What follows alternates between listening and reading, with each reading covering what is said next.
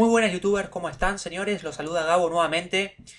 Este es un video un tanto diferente, no se trata acerca de ningún videojuego, pero es un problema que tuve hace un tiempo y que lo pude resolver y lo quería compartir con ustedes, ¿sí? Para que seguramente hay gente que anda buscando cómo resolver esto y este, como lo pude resolver, me parecía un poco egoísta no compartirlo. Digo, está bueno para compartirlo acá en YouTube, en mi canal, ¿sí? Eh, ese problema de Adobe Premiere Pro CC dejó de funcionar, ¿sí? El, el, programa para editar videos. Este, este es el error que me salía a mí. Esta foto yo la saqué de internet. La diferencia es que acá sale en ruso, en polaco, no sé qué, porque la persona que subió esta foto es seguramente de, ese país.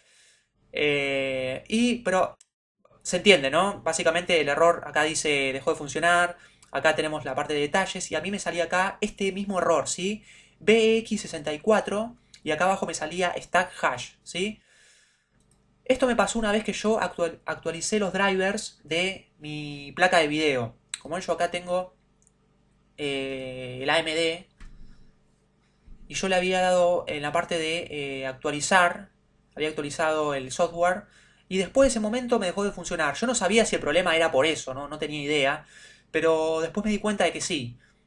Para resolverlo es muy pero muy sencillo. Vamos a ir a la parte de equipo, disco C, vamos a ir a Windows, vamos a ir a la carpeta de System32.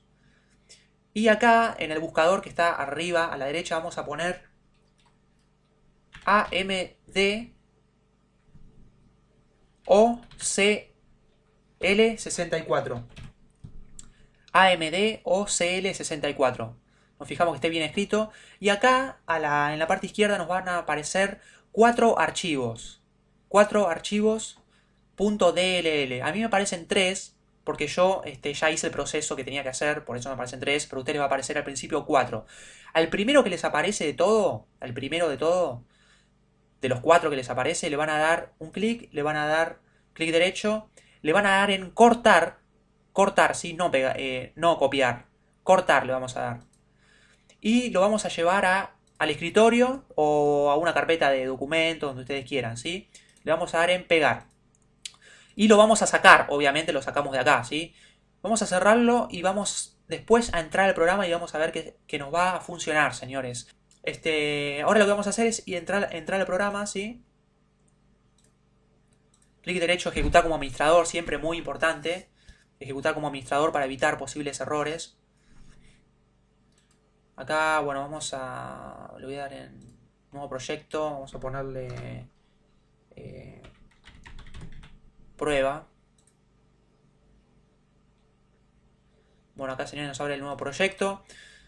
Acá vamos a crear una nueva secuencia. Hasta acá a mí, antes de hacer el... antes de eliminar ese archivo de System32, hasta acá no, no se me cerraba el programa, no pasaba nada, como que funcionaba bien.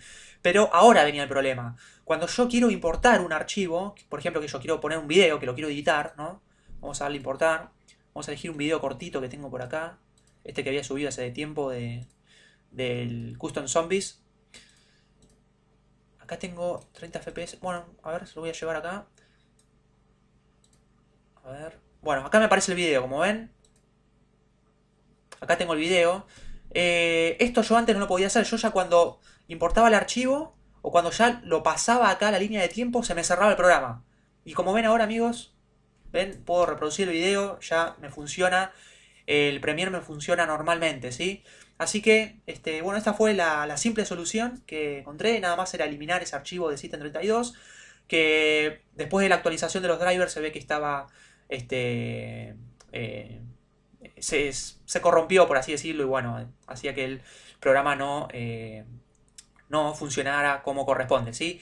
Así que nada más amigos, los invito a que se suscriban al canal, y, y nada más, apoyen con su like, compartan el video para gente que le pase lo mismo, ¿sí? Acuérdense que ese fue el error que me salió a mí. No sé si funcionará con otros errores, pero como les dije al principio, este era el error que me salía a mí, ¿sí? De BX64. Así que, bueno amigos, nada más. Espero que les haya gustado el video, que les haya servido. Cualquier cosa me comentan en la caja de comentarios, ¿sí?